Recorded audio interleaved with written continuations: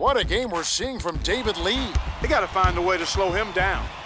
Man, Digital Lee is a beast. Kind of like the real Lee.